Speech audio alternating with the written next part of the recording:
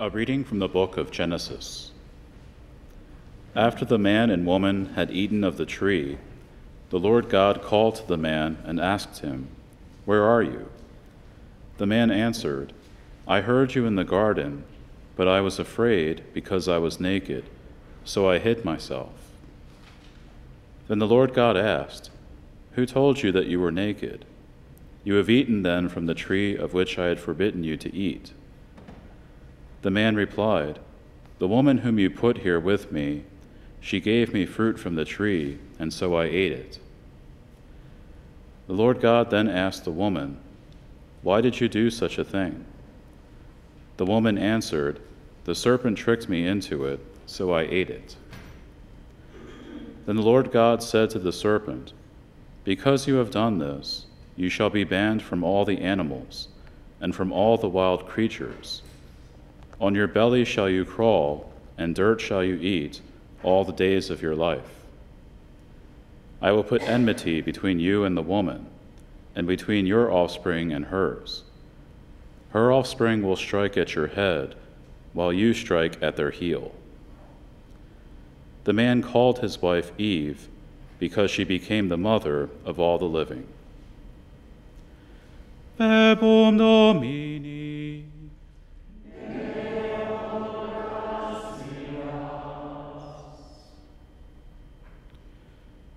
You are the highest honor of our race. You are highest honor of our race. Blessed are you, daughter by the Most High God, above all women on earth, and blessed be the Lord God, the Creator of heaven and earth. You. Your deed of hope will never be forgotten by those who tell of the might of God.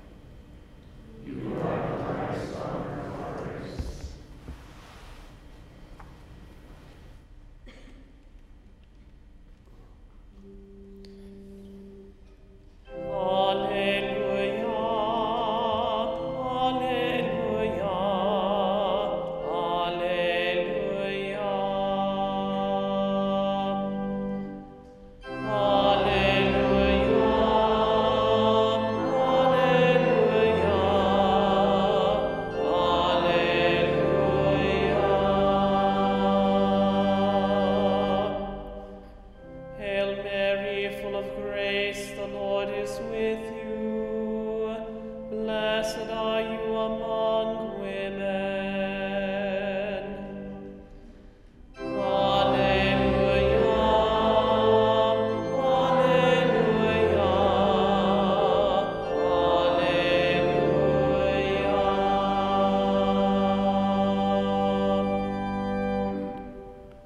Dominus vobiscum,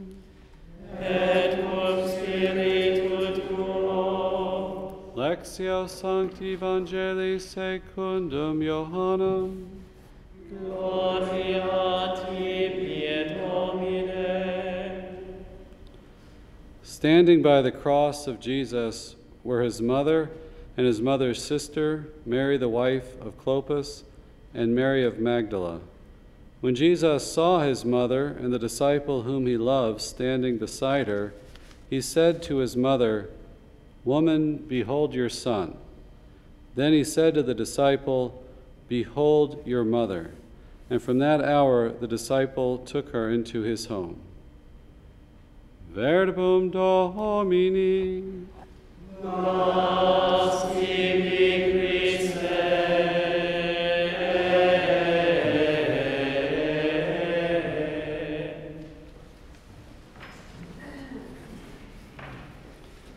Today we're celebrating a special votive Mass uh, for Our Lady under the title, The Blessed Virgin Mary, Image and Mother of the Church.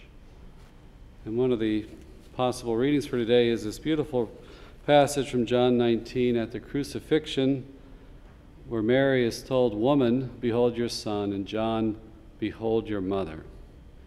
And the reality here that is happening is that Jesus is entrusting his mother to be our mother, that Mary is our spiritual mother, our mother in the order of grace, as Vatican II would say.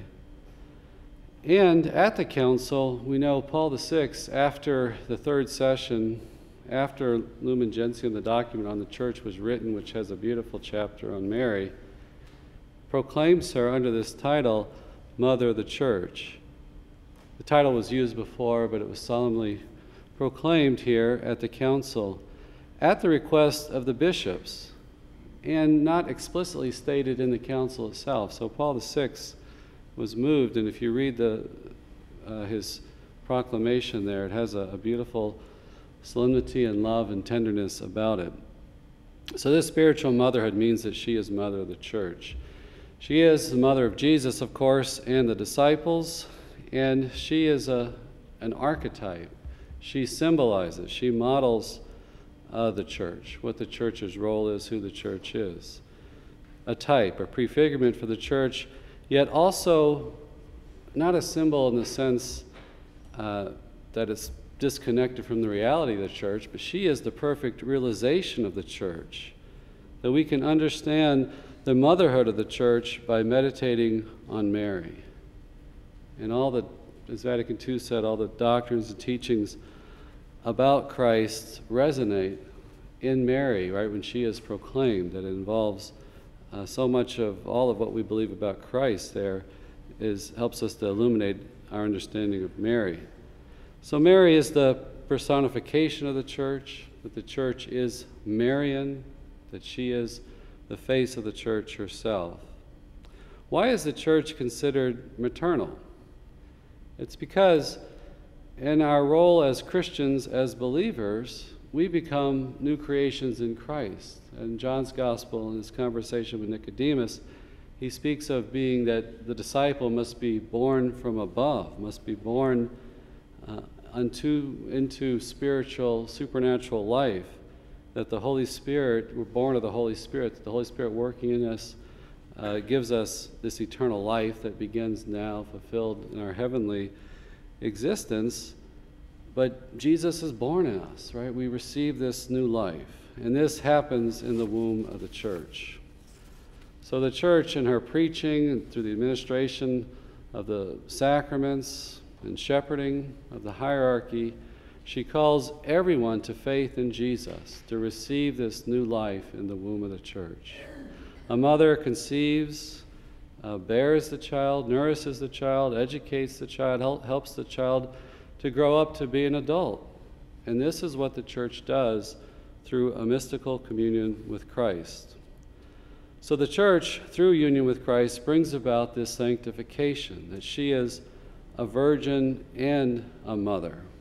Virginal in the sense of her dedication to God, her unadulterated faith, that she is spouse to the Holy Spirit, that it's the Holy Spirit bringing this new life, working out our, our sanctification, and uh, that is her role. So, women today symbolize the church as spouse and mother, which is the essential reality of the church. We have a tendency to masculinize the church and just see it as the hierarchy, but the fundamental reality of the church is feminine.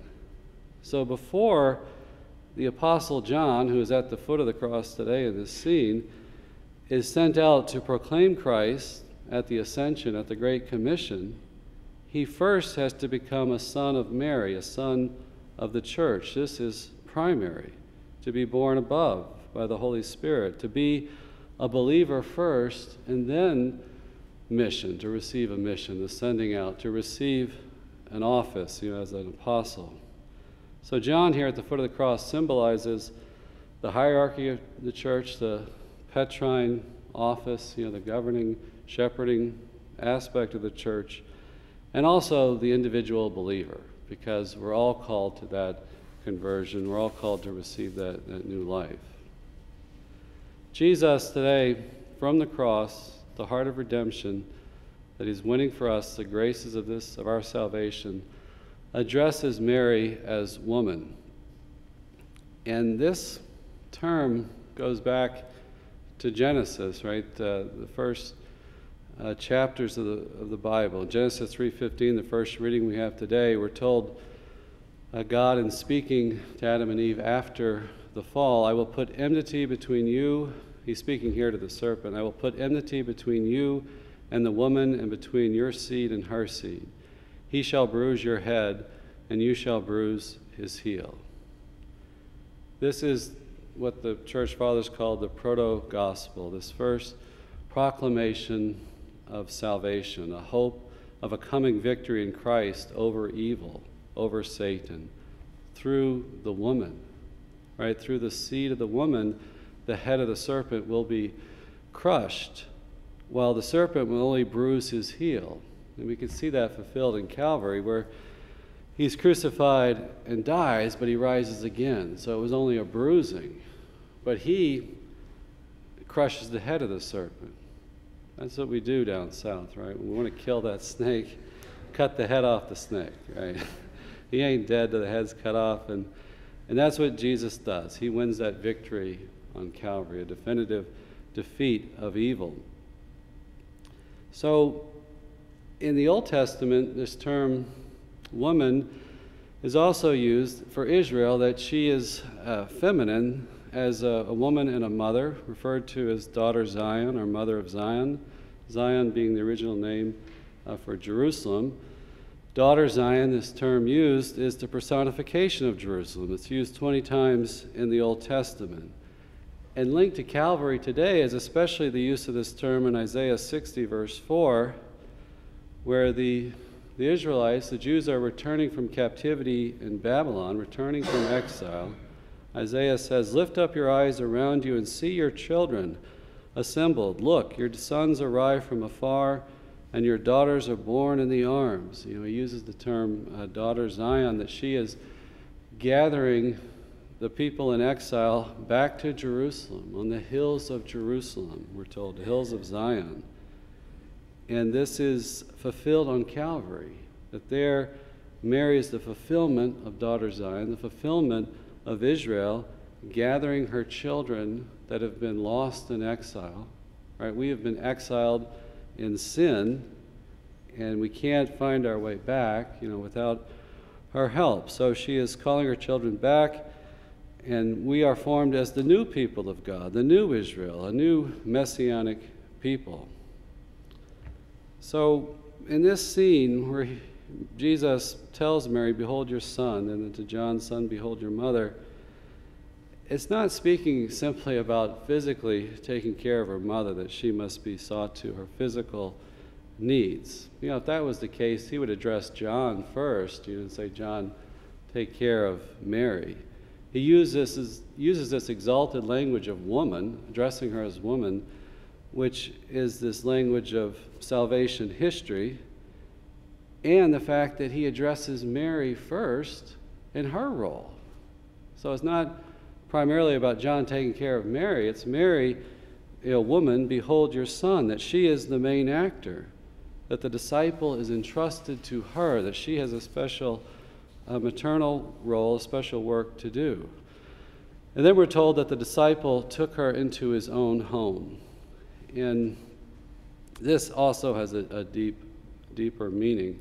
Pope Emeritus Benedict said that a better translation would be into his inner being. And other theologians reaffirm this, saying that phrase, you know, into his own home, means inner life, they contrast it with other passages of Scripture using that phrase. His own inner life, his own interior life, where his, the spiritual goods of one's life are kept, the life of faith. So Mary has a special role in that interior life of faith for all the disciples.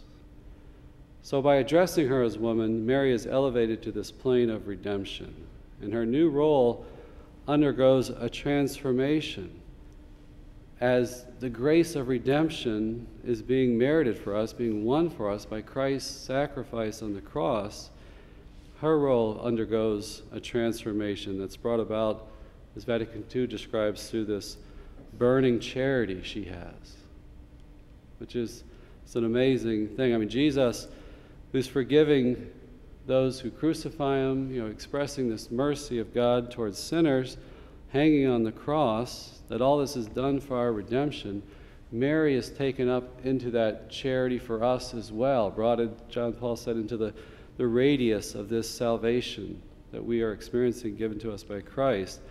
And she is given to all, to all humanity, that she is a mother. It's a new level, a spiritual dimension.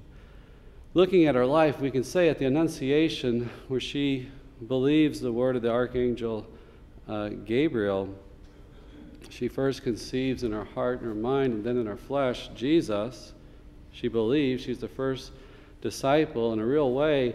That motherhood over, certainly over Christ, begins there, but also over the believer, because Jesus is uniting himself to all humanity there by taking on human nature.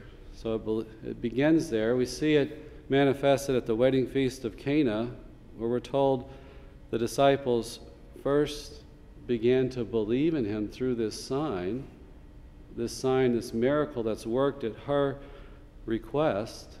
So, again, there in the realm of faith, trying to cultivate faith in disciples. She accompanies Jesus. We see her different scenes in his public life, his public ministry, and then here at Calvary. As I said, as John Paul has said, that it, that motherhood undergoes this transformation through burning charity, where she is taken up into this redemptive act and has this special role to play as the mother of Jesus and the mother of the church. And then we see Mary at Pentecost, which is so beautiful, right? The disciples are gathered there in the upper room praying for the outpouring of the Holy Spirit. We're told explicitly that Mary is there, that she is working with the Holy Spirit that brings about this new life, this new creations that we are supposed to come. She is there praying for the outpouring of that Holy Spirit, ushering in the new birth of the church there. So she is our mother. May we avail ourselves to her through the rosary, through the angelus, through liturgical celebrations, through our personal piety. May we appeal to her under this title, because she longs to bring to us the gifts of eternal life, this grace that Jesus won for us if we, if we ask. I, I was at a, a wake recently, and it just we prayed the rosary there, and it just struck me as so powerful. You know, people were in different stages of grief, and Mary is there. We have this beautiful tradition, right, to pray the rosary at, at wakes and funerals. That Mary is there to comfort us, you know, that we can pray for the repose of the soul of this person who is recently deceased. She is there as a mother. She never abandons us.